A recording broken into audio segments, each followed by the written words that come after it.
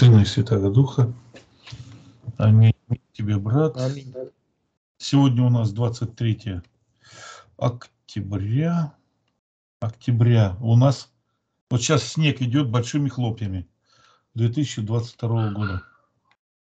У нас нормально, сухо. Прохладно. М, Завтра у нас тоже будет еще так пас- пасмурно. Прохладно у вас? Да. Сколько? Один минус один. А, а у нас ноль. Ну, у нас это очень сильный ветер был сегодня. Вчера еще начал дуть с вечера. И очень сильно шатал тут на доме все, что можно. Лестницу пытался у меня шатать. Трубу поставили. Отлетела труба, вот по-новому прикрутили ее вентиляционная для газа. А ты в каком доме-то живешь? Пятиэтажном или Да, девяти? пятиэтажный, п- первый этаж.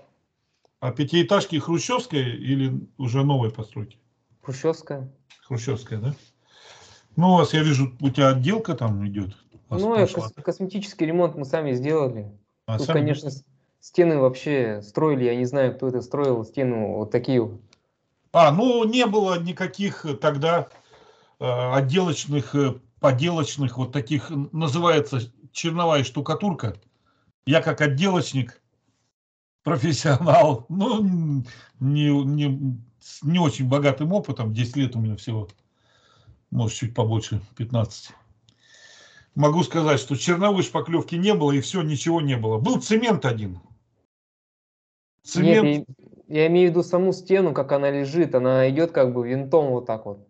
Начинается, и вот так вот винтом заканчивается. А это же ЖБИ такие были раньше. Быстро все делали. Их настряпывали везде по всем. Вот у вас там ЖБИ эти были, где более-менее большие города.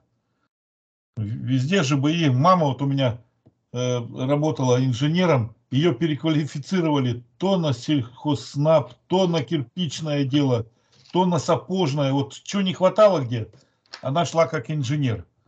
То есть она была там, ну, сколько там, бригады были какие-то, а она сверху там, и вот эти разнарядки всякие и так далее.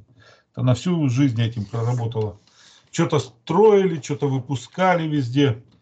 Ну, то есть при социализме очень много чего было. Работы на всех хватало. Я начал работать с 14 лет. Сначала в геодезии, потом помогал в, э, в инженерной геологии. Э, Брали из-под буров, буровых машин э, керны, отвозили в лабораторию. В лаборатории работали как лаборанты, то есть проверяли на давление, на, термо, на термостойкость там и так далее. Вот эти вот э, керны. Потом опять выезжали.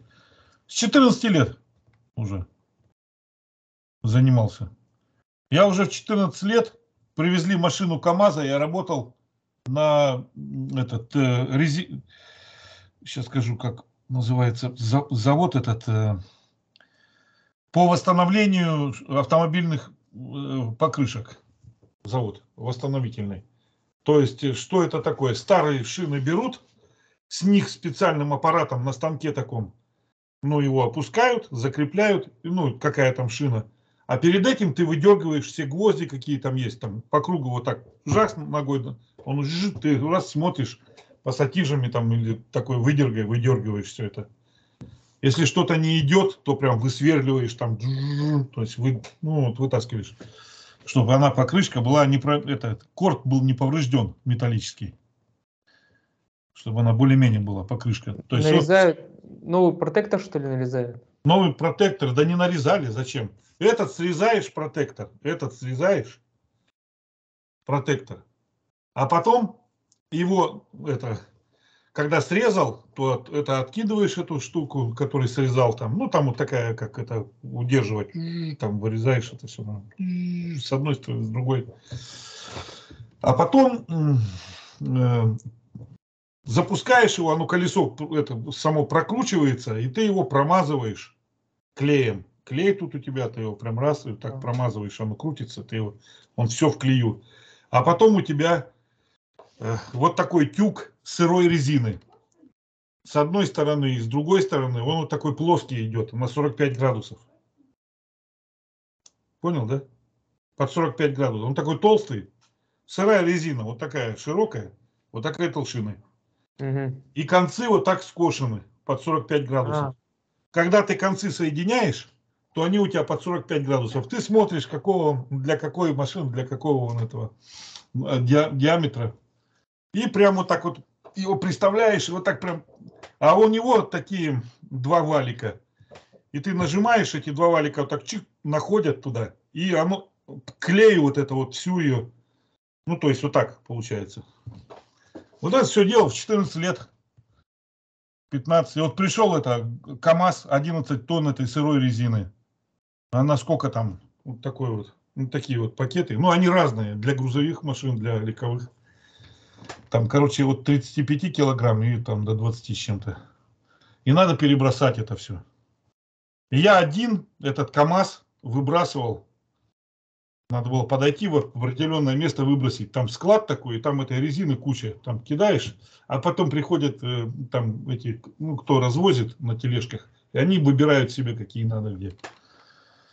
Но этот же, э, он же и я был потом на тележке, подъезжаешь, и когда там работаешь уже в цеху, то я вот один, я а в одного 14 лет КАМАЗ.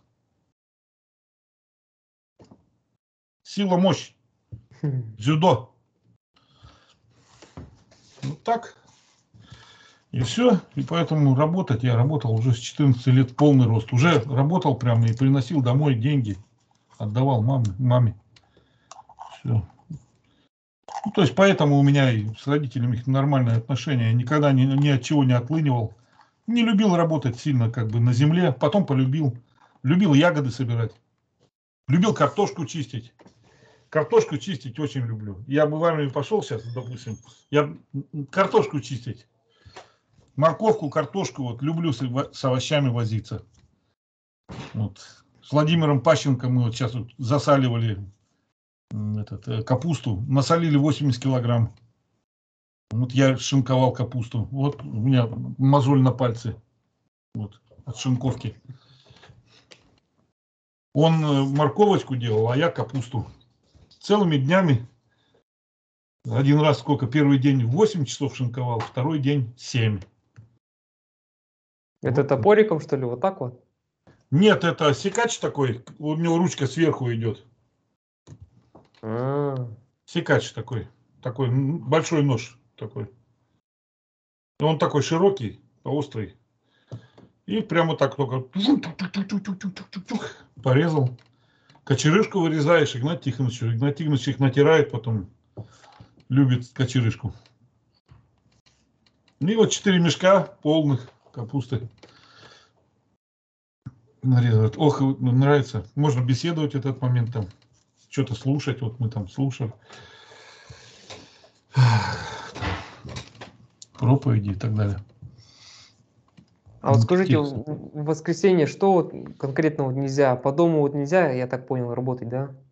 Что-нибудь по дому делать? Ну, по дому, что делать по дому? Ну, при, убираться там и так далее, это ни к чему. А если щенок написал, то надо убрать. Угу. А так, э, ну, сиди, делай, занимайся. Ну, в воскресенье у нас, гляди, сколько всяких. Вот э, у нас как, сегодня мы пораньше приехали, где-то часов 12, 12 подъехали. В 4 часа уже нужно это, выходить на содружество. Но вот до этого я уже к Игнату Тихоновичу вышел, мы с ним побеседовали, и к Вячеславу Семенову вышел, еще с ним побеседовали. Еще там по, по WhatsApp попереговаривался и так далее. То есть времени нету. Угу. А вот Приехал, мне... там, позавтракал, бутер... два бутерброда съел, и все, и уже начал. Даже не завтра, ну, два бутерброда там и этого попил кружку и все. Вот Ничего. вы мне по порекомендовали вот шестой, седьмой том вот про монашество. А почему? Вот именно... читать шестой, седьмой том. А почему как бы не, Сам вопрос такой не, не с первого тома? А, с первого тома я оглашенным э, рекомендации даю даже не с первого тома, а к истинному православию. Вот mm-hmm. то, что сегодня э, «Спаси от лжи», это просто тема, ну, бомба. Так это только один из пунктов, который я сразу предлагаю проходить. То есть полностью там сколько получается, э, сейчас 19, по-моему, э, ну, которые идут по теме к истинному православию. Угу. Ну, давай откроем. Давай откроем. Я открою. Сейчас, подожди. А, вот у меня прямо оно стоит. Я же открывал. Когда брат сказал, говорит, «Э, кого? Я, а я открыл сразу. Вот, сейчас открываю. Эй, ты что не открываешься? Чуть не хочет. Сейчас, сейчас откроем. Вот, все, вот оно. Гляди. А, гляди. Сейчас, подожди. Сейчас, сейчас, сейчас. Демонстрацию экрана. Вот этому я отстал дока уже. Потому что я люблю картинки ставить людям. А что значит дока? Дока это значит доктор. Mm. Вот, гляди. Это наше старое слово еще социалистическое. Ну ты дока. Ну, короткое, доктор, то есть, ну, профессор, в общем, так. Это как бы с юмором. Вот, гляди, к истинному православию. Вот это вот все. Вот. Вот все. Ну, можно чуть-чуть опустить последнее. Гордость папства, человекоубийство, фатимское э, чудо и обращение в суд граждан, гражданина, гражданских христиан. А вот, вот 23, вот 23, их 23, вот это все надо прочитать. Вот это все надо прочитать. Это немного, немного. Ты читал «Колжи»? Да. Ну и что? Сколько там затратилось? Ну, недолго. Да я не, не засекал. Ну, не, немного. Немного. Немного. Немного. Я, ну, сколько? Ну, пускай страницы 4-5, может, не больше. Что это? Ну и все тут вот такое вот такое. Игнат Тихонович, он делает выборки, выжимки, он там не льет воду, как вот те, кто любит лить воду. Он прям выбирает конкретно, чуть-чуть сказал, и у него то же самое с ответами на вопросы. Бывает он там как растечется, пример там особенно жизненный, то, что прошло тут у нас. А так, если у него коротко, места писания, и он раз пояснение. Иногда я даже думаю, Игнатьевич, ты же больше можешь сказать. А он не говорит, оставляет для того, чтобы твой разум по, начал позаботился. Вот видишь, вот это. И вот это с этой стороны. Вот ответы на 4124 вопроса. Вот это вот, вот, вот, видишь, 55. 55 их. Ты что такой мыслявый? Малыш, ты хочешь с дядей поздороваться? Тетушка, мы что-то дрожим. Мы дрожим. Лапка дрожит у нее. Ты что, боишься или что? Малышню не, маленьких не поймешь. Вот это все на 33 тома. Вот это, вот это вот. 30. Так. Стоп. Вот эти вот все темы, 55 тем, вот 4124 вопроса на 33 тома открытым оком Игната Тихоновича. И я выбрал из них 11, по-моему, чтобы прошли э, оглашенные. Остальные для твоего, как говорится, это. И из них, ну, будет, наверное, томов на 8. Вот эти вот, то, что я предлагаю. Томов 8. На томов 8. А там у него еще есть проповеди, там темы есть огромные, там по страниц по 40 даже бывает. То есть Игнат Тихонович, он бывает раскрывает тему там долго, часа полтора, одна тема. Это тогда такие были темы в начале еще, когда только община становилась. У него было что сказать людям, и тут люди появились. И Игнатьевич говорил. Говорил, говорил и говорил. Сейчас у него таких не, не бывает. Вот эти тематика прям. По тематикам. Но я их нет. Я их, это ты потом сам решишь читать, что тебе. Конечно, лучше всего прям подряд. Вот вот для Слова Божьего не туз, это угу. можно читать. А? Вот Прочитал? я тоже хотел, нет еще, я про это хотел спросить. Это, ну, где-то есть... около сотни страниц, вот э, это будет об Игнате Тихоновиче конкретно. Это ты уж сам читай, я что могу сказать. Узнаешь об Игнате Тихоновиче. Вот. Новый завет с толкованием мы проходим. Вот все книги Игнатия Лапкина. Вот тут вот все тома эти его. 33 тома. 12 томов Златоуста. Златоуста. Ну, я Я просто, а, э, как, что я вот, как я проходил все, я все это прочитал. Все я прочитал, что тут написано везде. Все книги Игнатия Лапкина. Все это прочитано мной. Стихи его. Все прочитано. Размышления есть. Можно по любым там этим вопросам заниматься. Вот это вот видишь, вот тут вот гравюры. Вот, гравюры раскрашены Дубуновым Игорем Владимировичем Ветхий Завет. Угу. И у Нагаевой Ольгой э, Викторовной и Приходько Натальей а, Николаевной Новый Завет. Но так как я был куратором, то я кое-что у них переделал, мне не понравилось. Особенно книгу Откровений я там почти всю переделал. Ну, о них женская рука. Если ты увидишь, допустим. Ты не видел еще эти Нет. картины? А, эти, вот конкретно вот эти вот? Нет, нет. Раскрашенные. А так, черно-белые я видел. А, черно-белые? Ну, ори- оригинал, так скажем.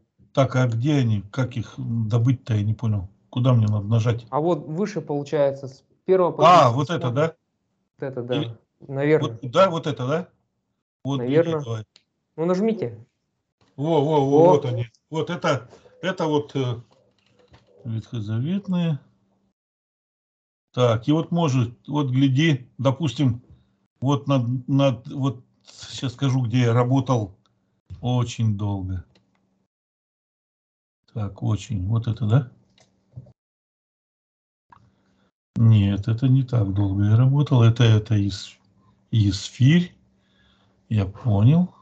Это что, карандашами, что ли? Или как, как это раскрашивалось? Это на компьютере все расскажу. Вот, А, гляди, книга откровений. Вот, допустим, книга откровений.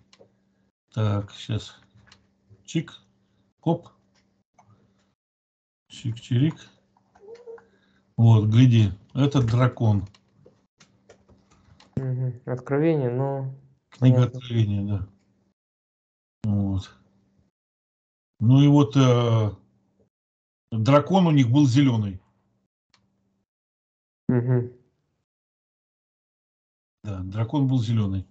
Я сейчас вижу, что огрих мой. Я сейчас прямо его вижу. Вот тут вот что-то коричневое. Вот это, это скалы. Тут течет вода. А это коричневое, из-под них почему дракон-то выглядывает? Это должны быть или волны, или что? Что я повелся здесь, не понял. Вот это надо было красить крас. То есть дракон, змей древний, древний. Как его изобразить? Вот пришлось. Но это понятно, победитель. Мгм. Господь в багренице кровь Христа. А это меч, видишь? Меч, он огненный, меч огненный. Сейчас бы я уже сияние даже смог сделать. Тогда еще не мог этого делать. Вот. Вот я полностью переделал. Вот это, допустим, переделал у них. Ну, там, ну, ко- ко- кое-какие... А, вот, допустим, вот это. Вот. Вот это вот тоже. Тут они вообще не смогли ничего показать, дать маху. А, нет, я тут не переделал. Ну, вот посмотри, как сделано. Красиво. Да, а теперь погляди, как я делал. Погляди, как у меня. К примеру, вот.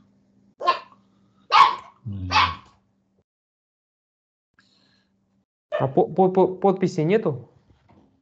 Чего? Ну, что конкретно вот здесь вот изображается? А, что изображается? Ну, ты Ветхий Завет должен знать. Мгм. Есть, конечно. Давай подумаем, что это такое. Это женщина, правильно? Мгм. Женщина так. К Соломону, которая пришла царица? Нет? Думаешь, царица Савская? Не знаю. Женщина, женщина. Ветхий Завет, женщина. Даже не знаю. Вот это вот то, что, то, что вот кто это вот стоит, вот этот. И так далее. Вот это вот, гляди, Персия. Вот это. Мгм. крылатые буки, быки с, с головами. И мужи уже почтенные, видишь, какие бороды. У одного, у этого такой длины, у этого еще длиннее. Да. Ну тут я думал, может быть такая же борода. Почему тут длиннее-то? Непонятно. Может, она вообще еще ниже борода-то, смотрите. Вот здесь?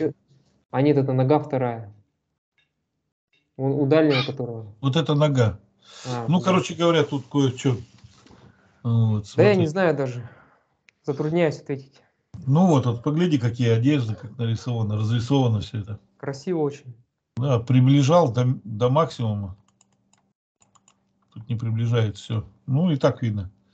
Пришлось все это вот обрисовывать. Это все гравюры Густава Даре. Но они не раскрашены, они черно-белые были. Нужно было, чтобы они обрели. Но когда на меньшей, э, на бумаге и меньший формат, они вообще смотрятся. Так, ну это ис, Исфирь.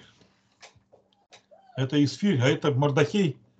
Он говорит ей, если от тебя не придет спасение, то знай, ты и дом твой погибнешь, а спасение придет от других. Вот так. А вот это вот, что у нас? Кто у нас это?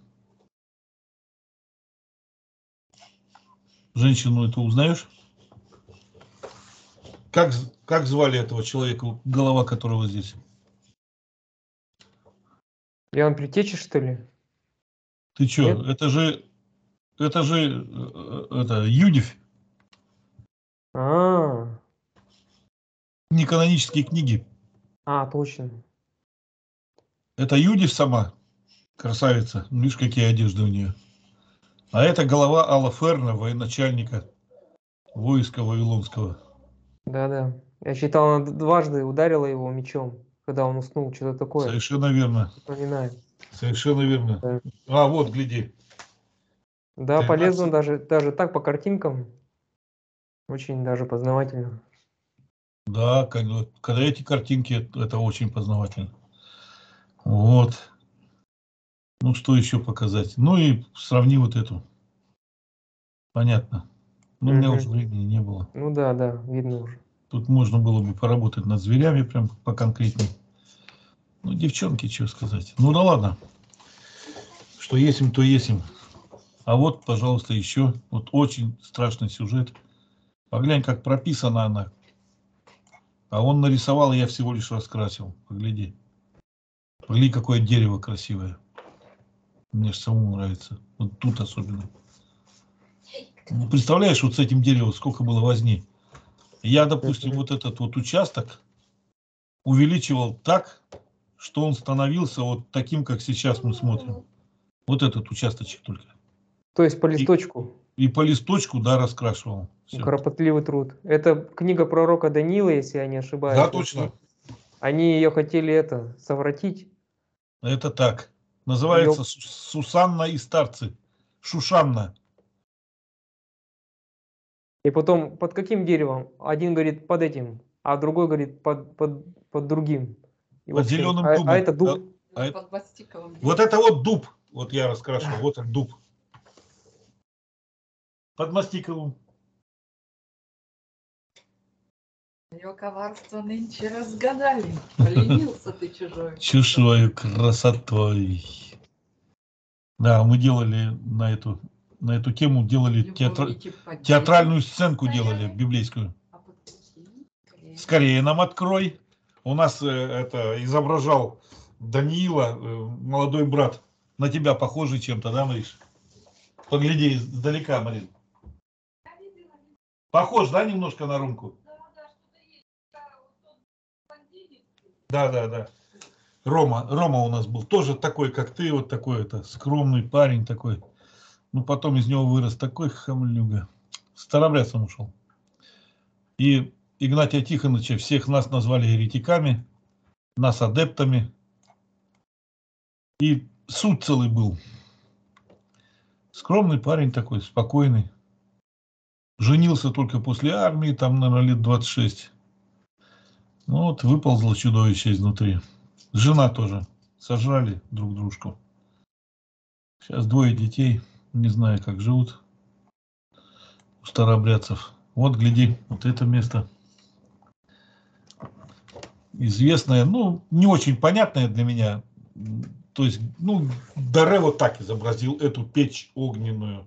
М, Ну, это за это печь такая, какие-то две стены. сейчас у меня написано даже где-то. Сейчас.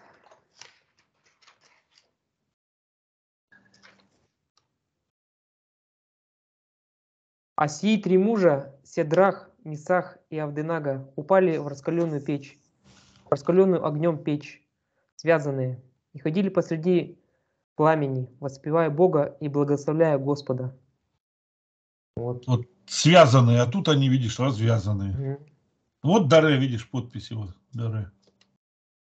Ну, в общем, вот такая, ну, вы- выбирали вот, что, ну, ну, непонятно несколько, ну, ладно, ну, да ладно, то есть было и было. Вот, какие сейчас показать сложные такие. Вот, гляди, сложная, очень сложная. Никогда не отгадать. Если не знаешь, ну, вот смотри, кто это. А нету. Ладно. Гадать придется. Из какой книги? Слоны, боевые слоны. Что-то знакомое. Боевые слоны. Точно. Глянь по них, сколько человек там сидит. И здесь тоже он. Ну, не десяток, но нормально сидит. И вот гляди, мускулистые ребята на конях, кони вороные. А может белые просто в отблесках. И самый главный персонаж где у нас? Как его звали?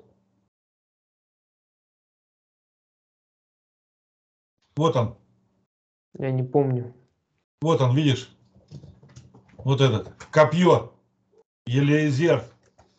Копье воткнул.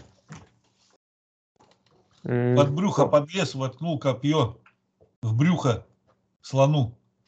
И слон упал на него. Видишь, слон заревел от боли. И написано, слон упал на него. И тогда победили они. Было убито там в- за один день миллион человек. Среди них язычников 800 тысяч. Так, тетушка, тебе тут рычушки идут. Вот такое. Вторая Маковейская. Заходи, заходи, Маслак. Давай. Вторая Маковейская. Не помню какая, 16 глава. Где-то так. Ну, не, точно не помню, не буду напрягаться. А вот гляди, вот это вот. Вот это вот. Где такое могло быть? Где? Да вон написано. Да, тут написано. Вторая Маковейская. Но я бы не отгадал. Не вспомнил, точнее. Тут 13 глава, значит, там ближе. Там потому что ближе было. Тут подряд просто я взял их, оказалось. Не помнишь вот это место? О чем Нет. тут? Вот этого как звать человека? Кто тут вообще главный герой-то? Как думаешь? Ну, наказание Илиодора написано. Илиодор, наверное. А, точно. Наказание Леодора. А где Элеодор-то? Ну, наверное, вот прикрывается, эту голову прикрывает по центру. А. Во. Военачальник греческих войск из, из Александрии. Решил войти, захватив землю иудейскую, решил войти в храм святая святых. И в тот момент, когда он, говорит, уже вступил в сокровенное, вдруг вышли к нему и к его сопровождавшим мужи, говорит, на конях, золотые, и начали его стегать. Красиво, да? Бичами, что ли? Что это? А, нет, ну, бить его начали. Нет, это не мечи, это просто какие-то, ну, эти, как они, э, чем детей-то, розги какие-то. А, Да, и забили его так, что он обессилен и все, не мог пошевелиться, то есть потерялся. Потом помолился над ним, э, по-моему, сейчас кто там был-то. А- Ан- а, так, Анания, по-моему, был первосвященник. Видишь, храм какой, тут люди стоят, боятся подойти. Это все его телохранители. Вот такие вот вещи. Ну, войдешь тут, посмотришь, тут много чего есть. Мгм. Так. Вот я к тому, что вот и вот и отсюда вот тоже я выбрал некоторые. Ты посмотри, там у Вячеслав, у него же он скидывал. Ты взял этот, нет? Этот чат этот. В чат он скидывал там вот эти места Какие? для, для оглашенных. Ты заявление это подал ему уже, нет? Нет, еще не писал. Мне у, у Николая надо это сейчас спросить. Ну, ты это, Данные. Ты поторопись, потому что тебе пока ты оглашение никакое не, не идет. Мы с тобой так знакомимся, пока я тебе тут рассказываю Мгм. сюда, чтобы тебе ну, подготовиться к оглашению. Вот. Вот это надо точно пройти, то, что вот я говорю. Это надо точно вот эти вот места о Библии, о богослужении можно, о вере, о грехе.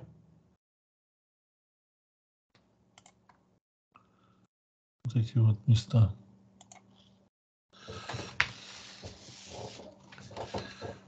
Потом кто тут, что тут у нас еще? Крещение, молитва, да что ты. А вот монашество. Просто, может, тогда не пятый, шестой том, а монашество. Вот раз. И вот 652 вопрос. Каково духовное состояние в монастырях России?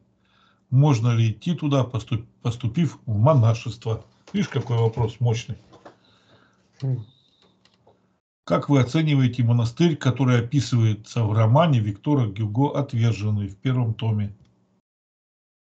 Вот так вот. Видел какой? Вы постоянно говорите, что монашество как явление не имеет своего оправдания в Новом Завете. А как же святые отцы, монахи, такие как Ян Златоуст, Василий Великий, Ефрем Сирин, и вы сами начитывали жития святых и восхищались их подвигом? Такие отзывы о монашестве не сеют ли соблазн в молодых сердцах и не подрывают ли доверие к трудам этих святых отцов? Мощный вопрос, да? Мгм. Ну, по вопросам вот, найдешь истину. Вот так, вот так. А что я хотел открыть-то? А, вот я открыл тебе. Вот к истинному православию. Вот прям Слово Божие, Священное Писание, о молитве, о покаянии, церковная дисциплина. К истинному. Вот церковная дисциплина, к примеру, открываешь и начинаешь. Памятка. Памятка, гляди. Что нужно сразу же сделать в каждом храме и следить за тем, чтобы изъятое терния впредь ни под каким видом вновь не, про- не произросло. И начинается. Сразу же повсеместно вести полное оглашение катехизации, обучения вере Христовой. Приготавливая людей к святому крещению. Срок подготовки от нескольких месяцев до пяти лет. Правило апостола Павла 14 готовящимся к крещению надлежит обучаться вере и в пятый день седмицы давать ответ епископу или пресвитерам. Шестой Вселенский собор, правило 78. Ну, мы с Николаем, я по порядку читаю, конспектирую с Николаем. Должны были заниматься еще на той неделе. Тема о молитве. Ну, дай бог, будем заниматься с ним дальше. Это вот к истинному православию. Я, получается, с ним работаю. Вот так вот. А что тебе с ним заниматься-то? Ну, занимайся. То Читать-то, конс- ч- читать-то, конспект- ч- читать-то ты читай все. Я так Ну понимаю, да. что он сам с тобой занимается. То есть занимаетесь, и он сам занимается. А, вот он. Ну да. Ну, конечно, вот что еще сказать? Ну, надо прочитать просто это все читать и конспектировать, на вопросы потом отвечать. А так ты понимаешь, ничего не знаешь, и что с тобой все это читать э, заново? Ну, это ты же как бы оглашаешься. Ну, я понял. Он, то есть, он вместе со мной, я так понял, прочитывает, выписывает себе вопросы, потом я захожу с конспектом, читаю ему, и он задает вопросы, я отвечаю. Вот так? Ну, я, я слышал, как у вас происходит все. Только не надо ждать-то ничего. Ты читай, да и читай. Вот себе Ну, взял. вот. Да, да. И читай все подряд. Прочитал и все. А молитве, ну, такие основные тезисы. И все. Ну, как все заучить все равно не удастся. Да и не надо. Тут очень много и так читать надо. Вот это тоже надо читать. Еще ответы на вопросы. То есть, э, так вот, как он с тобой занимается, я ему там уже сказал, я говорю, у нас такого никогда не было. Как ты на- начинаешь заниматься, как со школьником каким-то. Человеку 39, 29 лет, тебе, говорю, 36, ему 29, почти ровесники. Ты его что-то там пытаешь экзамен, пытаешься экзаменовать, его будут экзаменовать где надо. Что ты его там досконально допрашиваешь, прям, чтобы он все прям э, тему о молитве заучил. Ну и что, ну первое пойдет, а потом дальше, когда будет о семье, он уж забудет о молитве об этой. Не, ну у меня же конспект есть. Это, во-первых, а во-вторых, там все темы пересекаются. о чем и речь идет. Вот и все, и вот надо читать. Вот просто прочитать, чтобы это все у тебя было перед глазами. Главное зад- задавать вопросы, чтобы понятно было, что ты трудишься над этим. А вот ответы на вопросы здесь уже легче. Тут ответ на вопрос идет конкретно, а здесь целая тематика. Да ты что? Здесь коротенько, вера, допустим, гляди. Вера. Сейчас мы посмотрим, какой вопрос тебе подходящий. Ты скажешь, вот, я хотел бы его знать. Вот гляди. А, Вопрос 601, второй том. 2 Коринфянам 6 глава 1 стих. «Мы же, как поспешники, умоляем вас, чтобы благодать Божья не тщетно была принята вами». Значит, благодать Божья может быть принята напрасно? Вопрос. Хороший вопрос. Хороший вопрос. Мгм. Сразу. Охота, охота знать, да? Ну да, я бы почитал. Ну, вот гляди, вот вопрос. Давай вместе почитай. Ответ. Какой бы ответ ну, дать здесь можно? Гляди, как коротко и только места писания. Напрасно в смысле дела, не, напра- напрасно в смысле дела, не доведенного до конца. Если человек начинает строить и не вычисляет расходов. Ну, как я тебе рассказывал о вечно оглашенном у нас, который маму не любил и брата своего. И то до сих пор так и ничего не понятно. И вот говорит, 1 Тимофея 1.19. Имея веру и добрую совесть, которую некоторые, отвергнув, потерпели кораб- кораблекрушение в вере. Мгм. Некоторые отвергнули, то есть веру и добрую совесть. Добрая совесть, когда тебя, вот ты ложишься на постели там своей, ну или ну ко сну отходишь и тебя совесть не обличает ни в чем, что ты сделал не то. Ты почему? Ты знаешь Слово Божие, и ты по Слову Божьему наполняешь, наполняешь э, свою жизнь Словом Божьим. И ты так, раз, раз, что я сегодня сделал не по Слову Божьему. Тебе вот там сказали, что ты бессовестный, что ты там злой и так далее. Правду сказали или нет? Ну, а почему сказали, от чего? Ты рассуди и посмотри, задай вопросы, если что. Дальше вот Откровение 3.11. «Се гряду скоро, держи, что имеешь, дабы кто не восхитил венца твоего». «Се гряду скоро», то есть Господь говорит. Гряду скоро. Это он говорит об одной из церквей, а, по-моему, филадельфийской. Скоро. Держи, пок- э, держи, то есть, ну, ты хорошо стоишь, не пок- чтобы не поколебался, дабы кто не восхитил венца твоего. Так. Держи, что имеешь, дабы кто не восхитил венца твоего. То есть у тебя венец уже есть.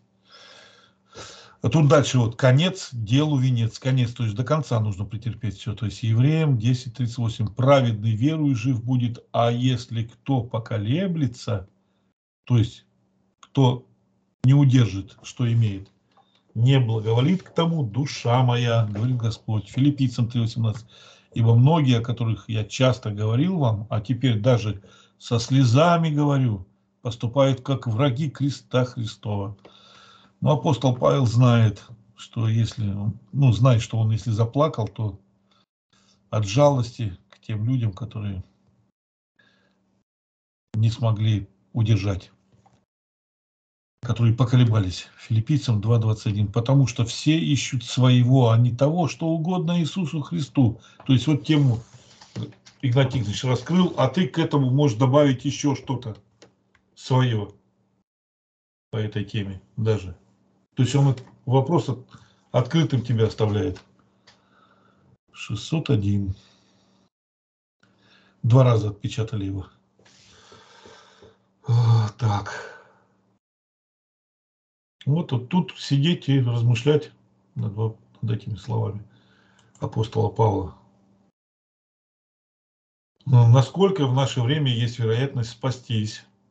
Ибо, судя по всему, что творится в мире и в церкви, то это очень трудно. Но почему обращаемся сейчас мы не через чудо, а через Евангелие? И сейчас люди верят чуду больше, чем Евангелию. Почему? С чем это связано? Какие вопросы чудесные. Вот. И вопросики-то небольшие. Ну, гляди.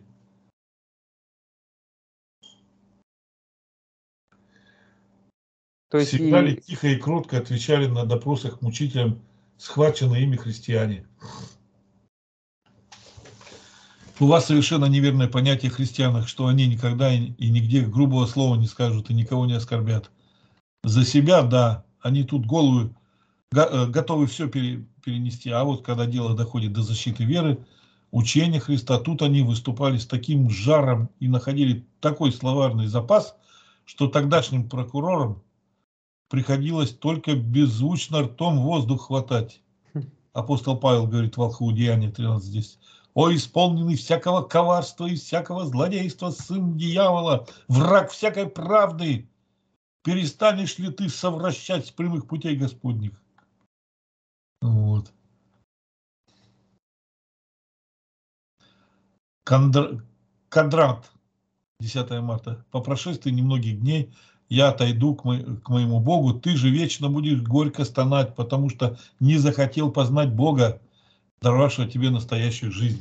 Сын сатаны, брат дьявола, сообщник бесов нечестивых, превосходящий свиней своим бессловесием, бешеный пес, кровопийца змей, алчнее зверей, пожирающий омерзительное мясо в капищах. Хм. Ругались как. Мгм. И Игнат Тихонович свое стихотворение дает здесь. И гляди, прям тут у него притчи, Сираха, вообще интересно. Критика, анализ и разбор. Лекарство от тщеславия ошибок. Кто не приемлет их, а на расправу скор, тот на болотной кочке, явно на отшибе. Главное, притчи такие начнешь читать, точно там все есть это. Читай дальше вот. Критический разбор поступков и статей. Что говорим, напишем и построим. Поможет избежать прорваться из сетей, стать не фальшивым, истинным героем. Но эти замечания, поправки действительно единственно тогда, когда по Библии не злобою, не, з- не с злобную удавкой, сам обличающий сознанием не балда, Сознанием. он Не может- балда. не балда, Да, да, да. когда он может рассудить, увидеть, проверить по священному писанию, не оскорбить, унизить и обидеть. Нотации занудными часами. Не Обличающий- оскорбить, унизить и обидеть. Нотации занудную часами. У обли... так. У обличающего мужество и такт, терпение, выдержка, владение языком. Пророк Нафан не замышлял теракт, к Давиду подбирался не ползком. Кто согрешил открыто непокорством, тех лицемерие упреком пригвозди. Апостол Павел, может, мал был ростом, сто крат возвышение сонмища верзил. Сто крат возвышение сонмище верзил. Знаешь, что такое верзила? Ну, здоровый амбал. Правильно. Верзила. Так. Где? А, да нелегко нам критика сносить. Да.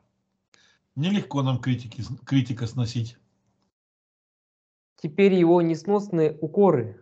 Без этих цензоров как будто легче жить. Своим мирком келейно за забором. Но если обличающего глаза нет вовсе в староверческом болоте, за сотни лет ни звука и ни разу не виноваты ни душой, ни плотью, вот это не говорит, виноваты ни душой, ни плотью. Да. вот это говорит, пороков нет. Пророк. Дух Божий оскверненных не исправит. И Иеремия не перенес им свет. Ни Златоуста нет, ни книги правил. Так это еще получается 4 августа Да. 2003 год.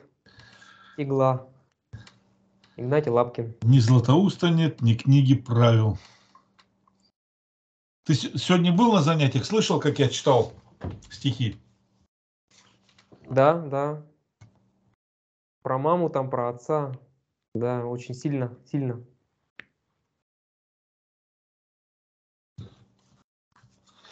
Мы привыкли, что святые очень кроткие, и с ними так просто было жить. Так ли это?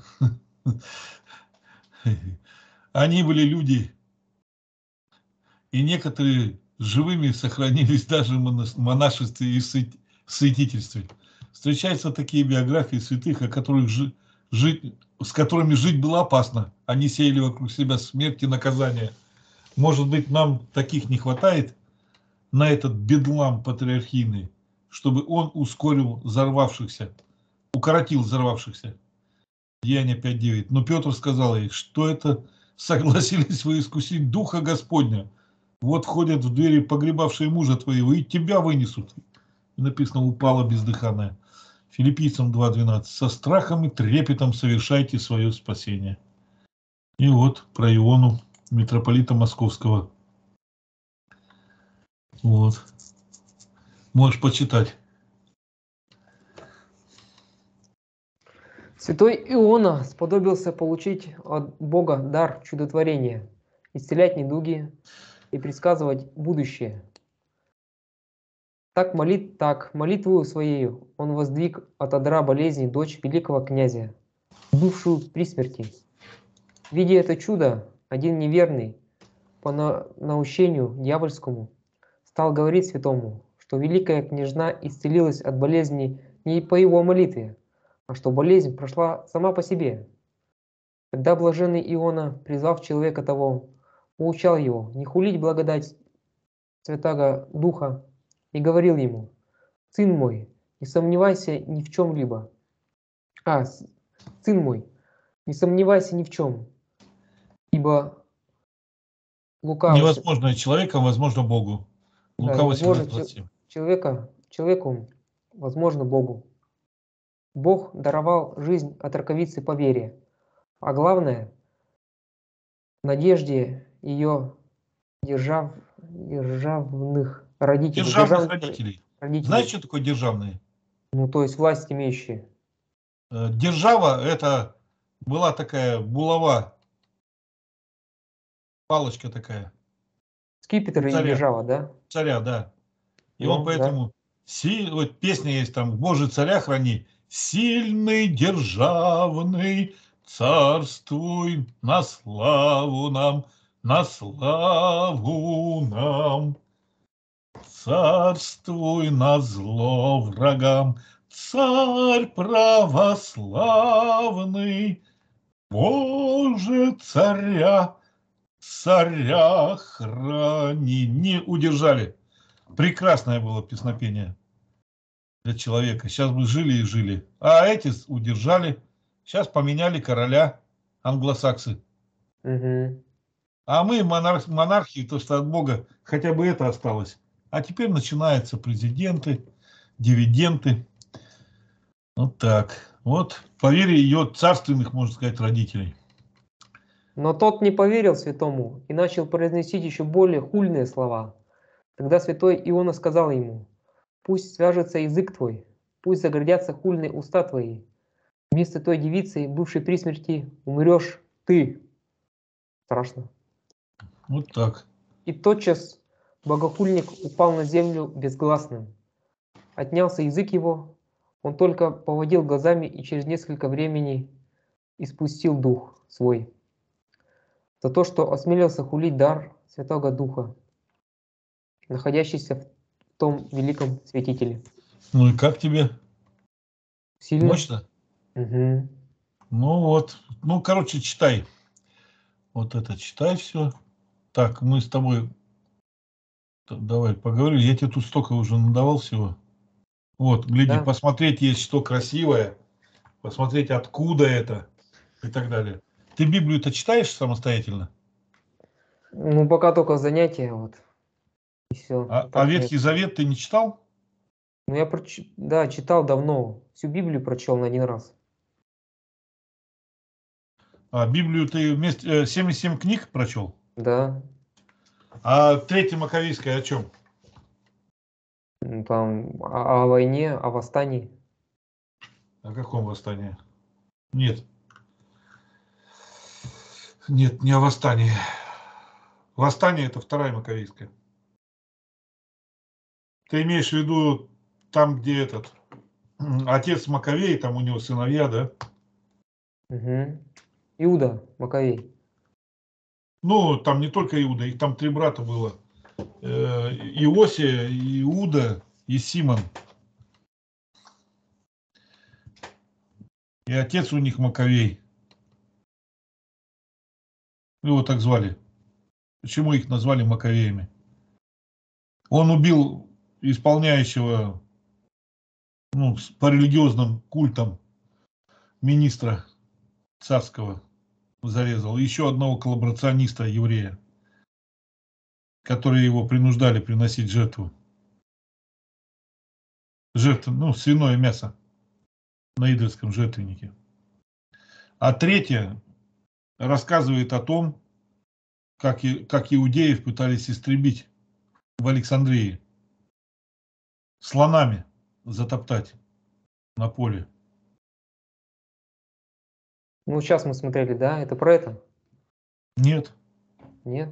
Нет, э, это война была с э, моавитянами и с людьми, которые пришли там из Индии, из Персии, набрали там, ну, персидский этот царь набрал там больше миллиона войска, миллион двести. И они выступили против иудеев. Иудеи выстроили 800 тысяч и схлестнулись 2 миллиона, считай, людей на поле на одном. У него было 300 слонов, и иудеи победили силой Божией. Разгромили их. Миллион человек погибло, и 800 тысяч варваров этих, ну, неверных. Разбежались все, конечно, они. Иудеи великую победу праздновали. Вот Там Илиазер этот, который слона, герой как бы этого сражения. Самого слона важного, на котором там сидел главный военачальник самого большого слона заколол копьем, поднырнув под него. Вот так. Так что Ну. посоветуете? Ветхий, Ветхий Завет читать? Конечно, конечно. Обязательно надо читать Ветхий Завет, постоянно читать его. Сейчас ты уже, если все прочитал, ты как бы можешь, ну, выбрать, что тебе почитать. Можешь выбрать. Мгм. Ну, допустим, что тебе понравилось. Я вот, допустим, Иова постоянно перечитывал. Хорошая книга. Читая вот Библию саму, я перечитывал Иова. Я никак не мог понять, о чем там это вот, ну, благодаря Игнату Тихоновичу, то, что я тут в общине, и он начал мне показывать, и я тогда понял. Я не мог понять, что его друзья такие предатели. Что просто не, не почему они решили, что он грешник. зная его хорошо, там его дела и так далее. Ну, а сейчас я смотрю на свою жизнь и понимаю. Я даже иногда удивляюсь, как меня выставляют каким-то злыднем. Говорят мне об этом прям. Ты злой, ты там коварный, там еще что-нибудь. Мне даже странно думают. И главное, кто говорит-то? Люди, которым я все, всецело доверяю, и они вообще меня не знают. Это страшно просто. Охота сказать, как Иосиф сказал братьям, не бойтесь меня, я Бога боюсь. Зачем вы меня боитесь? Причем сами такое делают, что...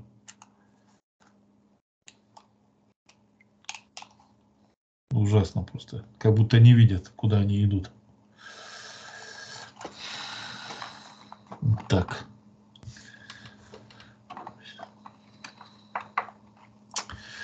Вот так вот. Такая книга тяжелая. Книга судей, очень сильная книга, мне нравится.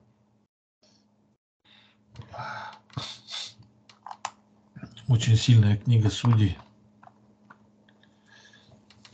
Ну, бытие, конечно, там можно размышлять, особенно первые главы. Хорошо, что мы их сейчас проходим, я прям с удовольствием иду их. С удовольствием. Ну, приходится очень много, конечно, без Библии работать, прям очень много. Даже времени стало не хватать.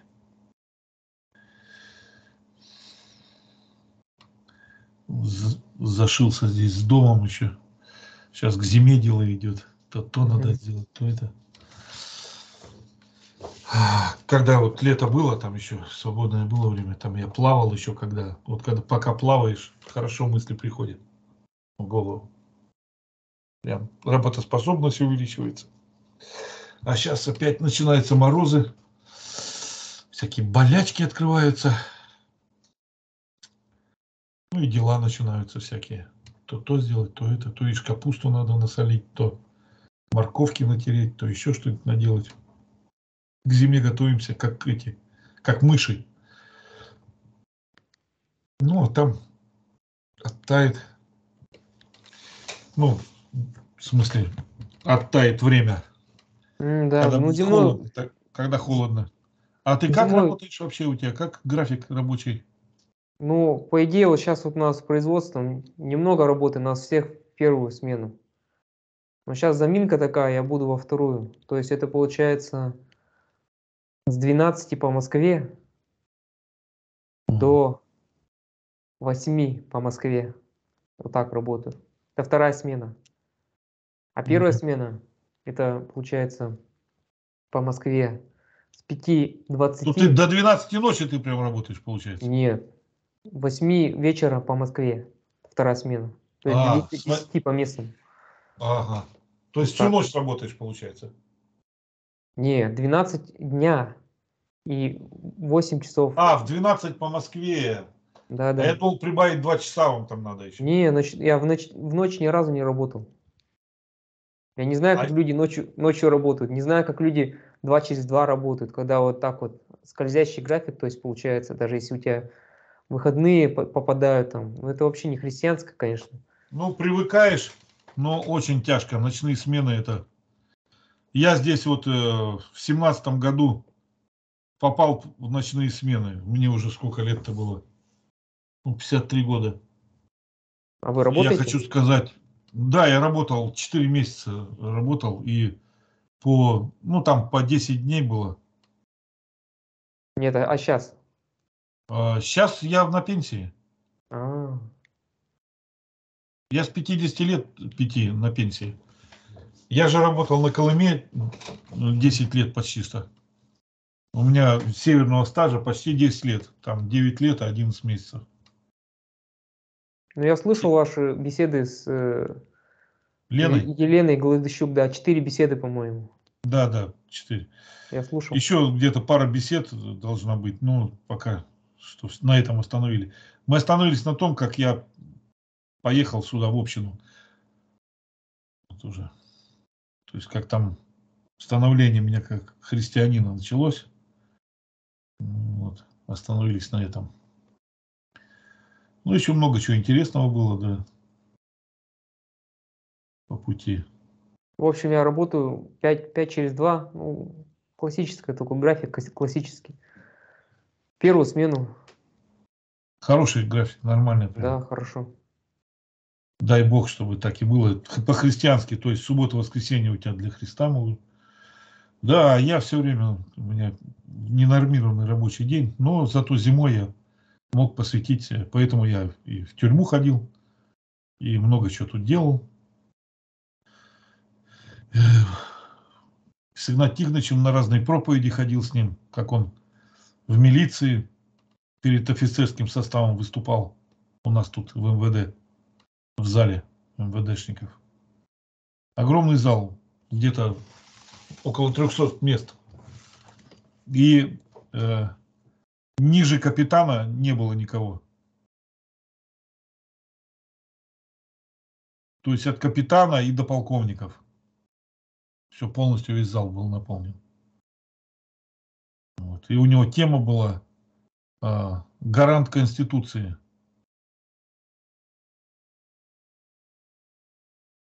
Знаешь, кто у нас гарант Конституции? Президент. Президент, да. И вот он говорил гарант Конституции. То есть он говорил о Боге.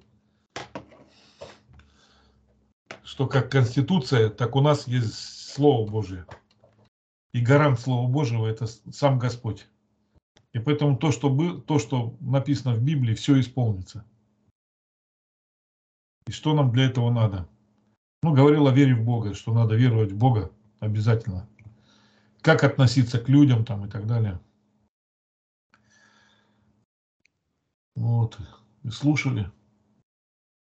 Даже странно такой добиться такого авторитета, чтобы вот эти вот люди сидели и тебя слушали. Ну, Это Господь.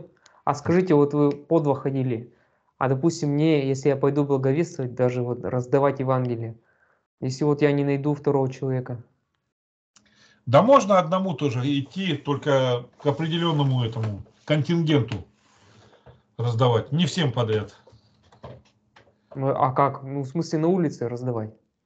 Ну, на улице семейным парам раздавать.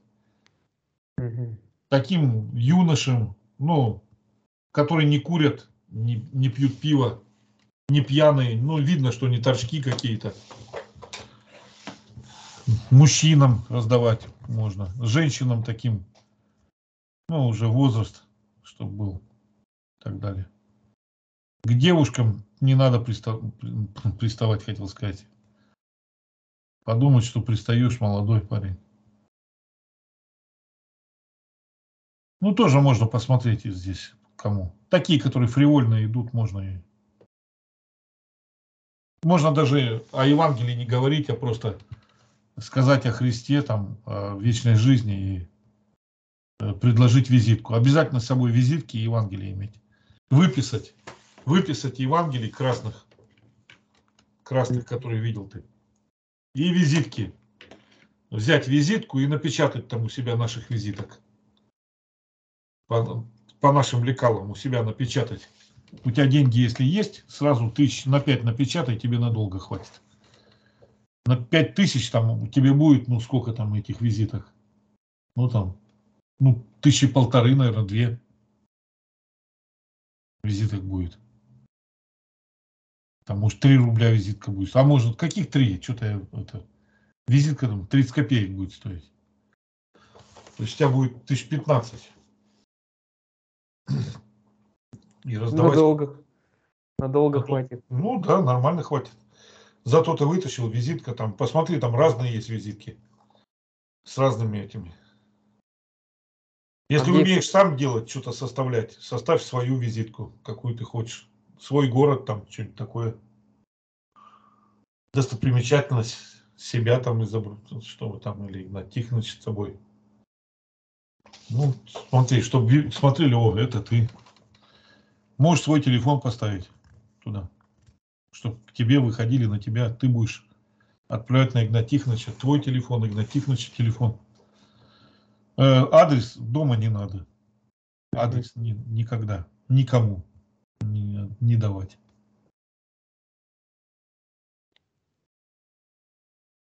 Вот так.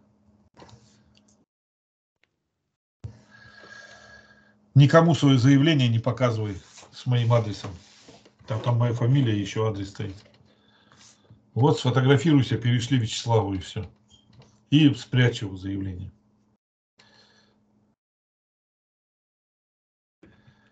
Потом на крещение приедешь, даст Бог, подпишем. Там тебе на поезде, наверное, легче всего будет ехать сразу по Теряевку. Ну там это Вячеслав, наверное. С Вячеславом Да. уже говорить надо. Обычно там собираются братья. А у тебя это неудобный поезд будет. Тебе надо А будет я- пересаживаться или еще что-нибудь. У Не вас, знаю, поли- мо- у могу вас сказать. ЖД есть, да? Вокзал? ЖД есть? Да, да. Ну ты сам просто от себя выйдешь и все. А, у вас тоже пересадка в Казани, наверное, да? Я могу в Казань вообще спуститься или в Пермь съездить. Ну, в Пермь, наверное, ну, в Пермь, наверное, сто процентов надо будет ехать. А там уже видно будет.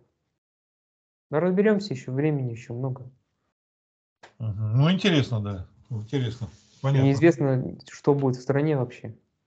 Ну да, неизвестно. Ты тоже тут прав. Целиком и полностью. Ну, у тебя сейчас вот есть что готовиться. Да. Я и говорю, зимой будет там очень много Насчет времени. мамы как? Ну, я хочу подойти к этому основательно, то есть помолиться, что-то, не знаю, чтобы Господь... Помолись, да и все. Что тут так к молитвам Вложить. относитесь так основательно? Вот сейчас прям взял, помолился вот так. Господи, ну даруй мне э, пос- посмотреть слове Твоем о маме. Покажи мне, Господи, все, что мне надо для этого. И все, помолился еще раз. И открывай поисковик, и попер, и все. Не, я, я про разговор с матерью.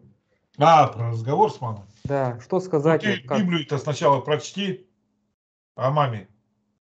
Да и об отце заодно. О маме и об отце. Там не так много выйдет, то, чего надо-то. Ну, хорошо будет гораздо, ну, очень интересно. тебе Я вот хочу материал подготовить, потом вот прийти к матери покаяться и вот этот материал вот послать, вот этот разговор наш с вами, Куда послать? маме почитать. А, в электронном виде. Вот, то есть, что я сделал? Она может не понять, я могу прийти, упасть в колени, там, она не поймет ничего. Что ты скажет, ты что, не ударился? надо говорил?» ничего. Я ж тебе об этом говорил. А или мы с тобой об этом не разговаривали? Я об этом говорил с Александром Борцовым. Про что? Он мне этот вопрос тоже задал. А что, если там мама не по... Я ему сказал, э, вот как надо поступить. Ты приходишь к маме и говоришь, мама, ты только не беспокойся, это мой сыновий долг, я должен его отдать Господу. Отцу еще круче, там отец должен тебе на шею наступить. Ты должен быть полностью под отцом. Это это- по слову Божию? Да, по слову Божьему. Ну, я то, что говорю, то, что там написано. Мой отец не хотел наступать, я ему ногу тя- тянул. Упал, тянул, тянул, он не хочет. Нет, говорит, и все. Я говорю, отец, в общем, ты мне должен на шею наступить. Зачем? Я говорю, ну так по Библии. Не буду я тебе никуда наступать. Я говорю, отец, ну так как ты неверующий, я понимаю тебя. Ну, в общем, я сделал все, что мог, отец, говорю. Я твой сын, покорен тебе и так далее. Вот нач- воспитывай меня, продолжай учить и так далее. Я говорю, только не пей водку, потому что вот пьяница не наследует Царство Небесного. Все. Даже ты в Бога не веруешь, но я знаю, какой ты. Он добрый у меня, покладистый такой, никогда ни- мухи не обидит. Ну да, Ну, ревнивый там был по молодости к маме, там руку там поднимал. Ну, редко очень все это было, прям единичные случаи. Ну, у меня Понятно. тоже, отец у меня тоже, он мирный человек, но он просто, я рассказывал то, что он, вот этот синий змей взял его, и он, мне кажется, это я, конечно, суждение такое, такое вот со стороны, что он пропил свою кафедру, понимаете, место свое в семье он пропил. Это ну, не- понятно, да. не, суд, конечно, я ни в чем его не виню, Понятно. просто бывает такое вот, и мама как бы Нет, А. винить-то его надо, как ты не винишь. Мы не должны участвовать в бесплотных делах тьмы, но и обличать. То есть ты не пьешь хорошо, но ты должен обличать. Ты отца должен обличать. То есть, когда вот он нормально там как-то ты подкрадываешься к нему, видишь, что поел там, он благодушный, и ты его потихоньку открывай Слово Божие, Отец, гляди, как написано, пьяница не наследует Царство Небесное. Вот придет время, и я о тебе даже помолиться не смогу, вот как я сейчас о своем отце. Вот то помолюсь немного, потом опять прям, ну, пустота, ничего нету. Я просто с ним разговаривал, у меня эти слова всплывают передо мной, как будто вот я с ним только что разговаривал. И все. Я ему все говорил. Когда я маме это сказал в 91 году, она заплакала, и мы упали друг другу на грудь и начали плакать. Я плачу, мне жалко маму, она плачет, ей страшно. И в конечном итоге она уверовала, говорит, сынок, я хочу с тобой вместе быть в раю. Ну, вот это разговоры, понимаешь? А это я не могу без этого. Да что это Бог там, где там? Да, фу. Как баба какая-то. А мама мужественно поступила. Плачет прям и все. Я говорю, мам, ну надо вот это делать. Она, я буду, поститься надо. Я буду поститься. Ей до конца было тяжело поститься, очень. Она вот прям, вот Господь за то, что она там столько превозмогала, Он ей какую-то награду даст. Я угу. так вот, у меня такое есть, потому что она, ей очень было тяжело, но она знала, что надо поститься. Она там к этим священникам приходит, они ей, да молочка можно, что ты? Она, а вот у сына в общине у них не так. Да это ж там секта какая-то.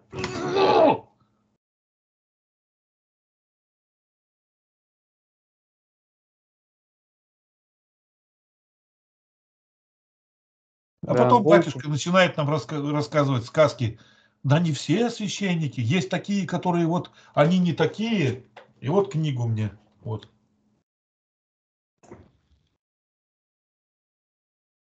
Не, не видно. Зеркально. Ткачев. А, Ткачев. Миссионерские записки. Миссионерские записки. Вот боюсь даже открыть, вот, читать начать. Потому что знаю, что Свой миссионерский компонент есть у каждой требы. Например, освещение квартиры. Ведь можно взять уже освещенную воду, прочесть молитву, окропить, выпить рюмочку и сказать «С Богом оставайтесь».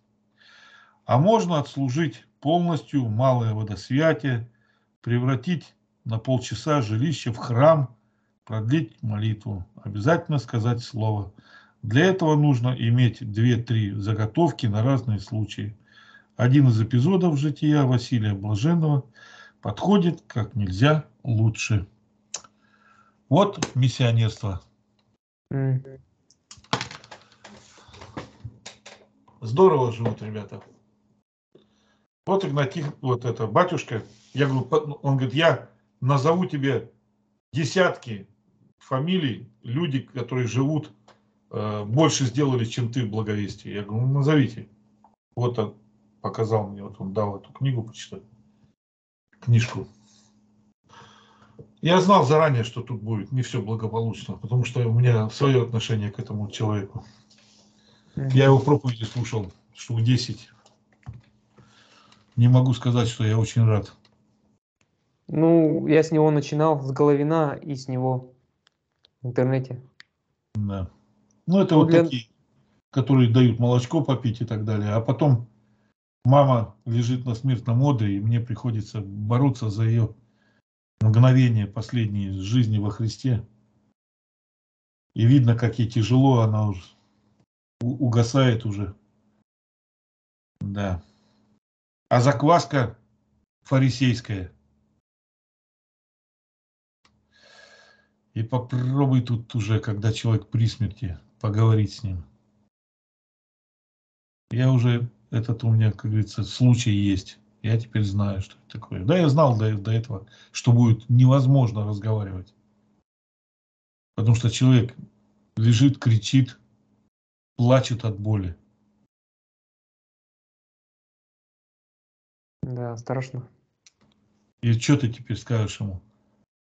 У меня дядька умирал, и уже у него желудок там ничего не было в желудке уже. Пьяница был, табакокур. Все там, желудок уже никакой. Ну, там печень, печень тоже это уже. И он прям кричит, и позвонила тетушка, говорит, так и так, дядя твой умирает. Попрощайся. Я поехал прощаться, взял псалтырь. И вот сидел, начал ему псалтырь читать. Много псалмов прочитал, штук 40, наверное. Читал, читал ему псалмы, и он начал затихать, затихать. Я с ним разговариваю, он только стонет, мучается. Я думаю, ну ладно. Взял псалтырь, псалтырь стал читать. И вот читал, читал, читал, читал, и он уснул. Уснул, и, ну, и все, и спит, и спит. Тетушка говорит, ну что, все, говорит, он спит, ладно. Ну, там, ну, не знаю, сколько, ну, больше часа где-то читал. А я говорю, ну хорошо, все тогда это. Я поехал там, ну, ну, короче, уехал, все. Ну, и она там утром звонит и говорит, все, он, говорит, отошел под утро, говорит, умер. Не приходил в сознание. Единственное, А что, что он сделал, как бы он открыл глаза и вот так вот, вот так вот, вот так. Это что значит? Покурить дайте.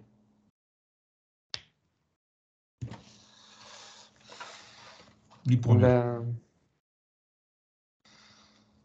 Ладно, у меня, у меня ситуация, я был маленький, бабушка вроде умерла, 8 лет мне было, я ничего не понимал, что такое смерть, что бабушки не У будет. меня больше. дедушка умер, мне было 9 лет.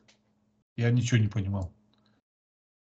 У меня бабушка, вот две бабушки было, дедушка, умерли и это, я ничего не понимал. Ну, ребенок, что взять? Я помню, бабушка, я не знаю, она молилась или что, но она неверующая была. То есть мы приходим с отцом. Мне кажется, она просила, чтобы вот последний раз на меня взглянуть. Мы приходим с отцом, и она так только голову так подняла и умерла. То есть посмотреть на меня хотела, наверное, последний раз. Может быть. Просто Ну, так сошлось. Мы только заходим, и она отходит прямо. Видно, что уже это. Душа отошла. Последний Да. вздох там. Вот такое. ну, это для тебя тоже, чтобы ты запомнил это. Мне потом дедушка помог. Ангел в виде дедушки ко мне явился. Ангел, может, не один, не знаю. Говорил мне о жизни вечной, о Боге. Мне 11 лет было уже. В пионерском лагере. Там целая эпопея. Меня закрыли в этом, в изоляторе, чтобы я ни с кем больше не разговаривал. Я там давай всех допрашивать про вечную жизнь, как можно вечно жить. Фантастики начитался или еще что. Потом пом- на полном серьезе я всех, допра- всех расспрашиваю подряд. Ну и маму вызвали. Мама пока приехала из Красноярска, далеко была, а я тут был в Алтайском крае, на озере Ая, в Бийском районе. Ну, она приехала, думала, что что-то не то. Ну, там, ясно, за сердце она хваталась. Приехала, я начал ей рассказывать, что дедушка, а, а она своего отца очень любила. Он ее очень любил сильно. Валюшку свою. Мама Валя звать. И она сразу поняла, что я не куку. И все. И вот это наше с ней общее горе, потому что он рано умер. Ему 53 года было, мне уже 58. Я уже на 5 лет деда своего пережил. 53 года. В 53 года там еще крепкий был. Но он был поранитый в живот. Живот, ну там рак у него был в животе. От э, каких-то там, непонятно. И сзади у него ранение было. Вот у него сорвано было это, часть ягодицы. Вот здесь вот в вышине. Осколком мины. Мина шлепнула. Он автоматиком был. Наступали как раз. Ему выдернуло тут прям такая тут вот с кулак дыра была. То есть верхней половины вот здесь вот, вот этой Ну, э, понятно. ягодицы не было вообще. Туда зашито было вот так. Можно было вот так. Ну, мой кул, сейчас-то мой нет, а я был ребенком, туда кулак можно было засунуть. Ну и что-то там у него с желудком еще было. То ли ранение, то ли вот это то, что вот эти вот голодовки все вот эти. Вот, у него рак развился, его резали, резали, резали, резали. В очередной раз не выдержал, на операционном столе помер. 53 года. У него были медали, рядовой был. Был такой Никол... этот, э, Юрий Никулин, такой был артист, Мгм. юморист. У него цирк там был на Цветном бульваре. И вот этот Юлий Никулин в своей, в своей книжке, он вспоминает о, моей- о дедушке моем. Рудаков Александр. Молодой связист, говорит, Рудаков Александр. Мы с ним, говорит, дружили в армии. Как раз это о нем.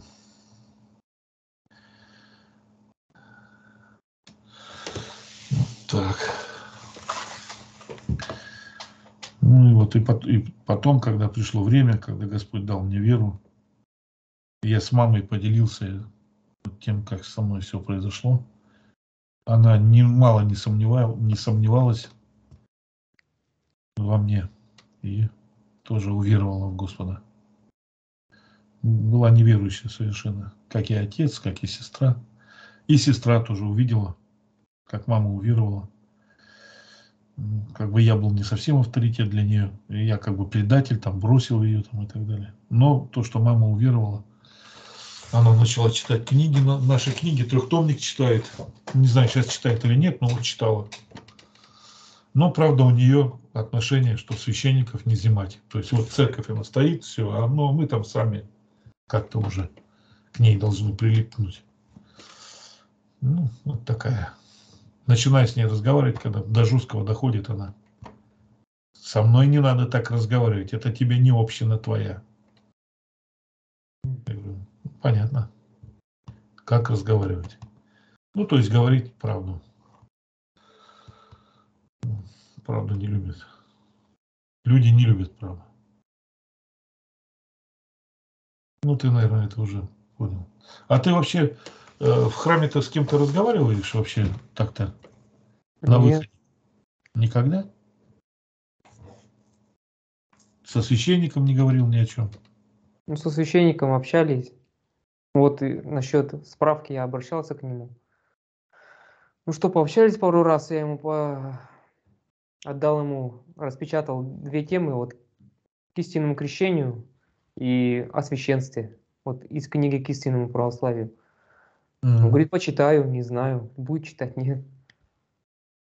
Начал там, конечно, это, я ему рассказывал. Ну, спросил бы, как вот, так и так говорю, крещение ведь это, каноны же есть церковные, что вот три погружения там и так далее. Он там начал как, ой, вообще, понес, понес. Даже думал священное писание привести, так забыл даже, он мне там начал. В общем, на уши, на уши сел, так скажем. Присел, да? Да. Ну, ясно. Ну, вот тебе, бабушка, и назови хотя бы десяток Да. фамилий, которые са- исполняют каноны Господни. Самое главное, он молодой еще, он в самом начале, я, чё к нему пошел-то? У него все еще впереди, мне, мне так кажется. 33 года всего. Ну, материалы Да. дал, помолился. Что еще сделаешь? Ну, молодец, ты это хорошо сделал. Нормально. Людей теперь смотри, смотри людей, кто там люди стоят, подходи, беседуй по одному человеку каждый, каждый раз, как увидишь кого, возьми с собой Евангелие подарить, визитку, и подойди там после службы, будет человек уходить, ты простите Я- Христа ради и так далее там. Вы как, ну, не хотите поговорить о вере, о Библии, Спроси. Ну, не, не девчонок молодых только. Ну и не женщин начинай. Попробуй с мужиков. Я вот Ну, думаю, которые- говорить с теми, вот, отсеять вот захожан, которые бывает, Ну, То да. есть потом, которые более-менее по форме, то есть платки, юбки, кто часто ходит, и вот, то есть этот народ отсеивается, отсеивается, и там вообще, наверное, пару человек будет всего. Ну вот, вот с этого начни. Кто не разговаривает там, кто не шатается, не шарахается. То есть более-менее дисциплина. Думаю, с тех начинать. Только, только не это, не, не говори в храме и во дворе. В храме и во дворе не говори, не, не говори ничего. Так, за оградой где-нибудь. На остановке или где-то там. По пути просто. А почему не, не в ограде? Э, Ограда тоже принадлежит церкви. Получишь замечание, и потом возьмут на заметку и будут гонять тебя. Тебя и так будут гонять, когда узнают, что ты разговариваешь с людьми. А тут прям сразу будут гонять. Так что все это уже понятно. Неоднократно это говорили уже, я предупреждал всех. И там были уже, да я вот там не могу никак. Начинают спрашивать, а как ты? Да я вот подошел, там возмутился в церкви. Ну а что ты хотел? Тебе же сказали в церкви не разговаривать. Что-то хочешь священнику сказать, напиши записку, подай ему. Он подойдет, тебе ответит. Ответит тебе когда, тогда ты можешь там ответить что-то, если он, ну, прям к тебе подойдет, будет отвечать. Не будешь же ты его за руку вытаскивать. Ответь кротко, что хотелось бы с вами побеседовать на тему Слова Божия, вот, крещения, там, проповеди. Все, там даваться сильно не надо. Попросить где-нибудь, э, чтобы это было не в церкви. Сказать, я мирянин, я не могу в церкви беседовать. Ну, И все. Он там скажет, да я там милостью разрешаю. Сказать, ну, нет. Ну и все тогда. Если нет, то и скажет, давай здесь. Ну, не соглашайся. все. В храме не, не надо беседы производить.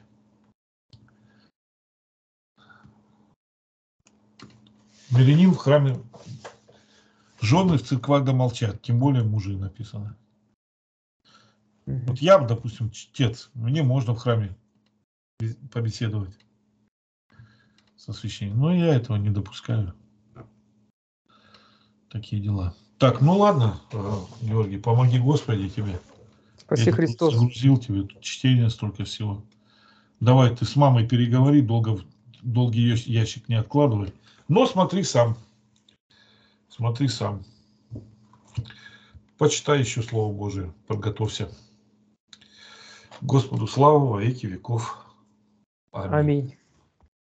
С Богом. С Богом.